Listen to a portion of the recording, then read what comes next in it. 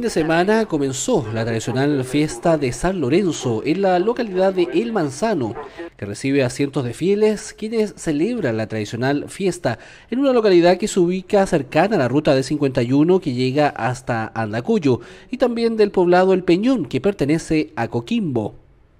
Esta celebración fue organizada por la parroquia María Reina de los Apóstoles de Pan de Azúcar, el municipio de Andacoyo y también la comunidad agrícola del sector.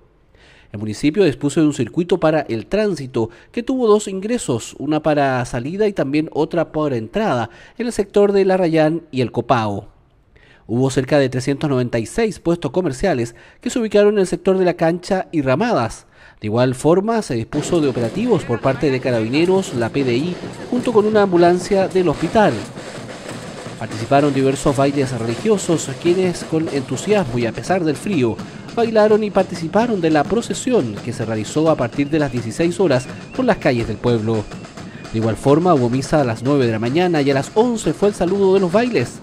Hubo locomoción desde Andacoyo, La Serena y Coquimbo con salidas regulares de buses y colectivos. Las empresas mineras, en tanto, colaboraron arreglando los caminos interiores y la instalación de supresores de polvo.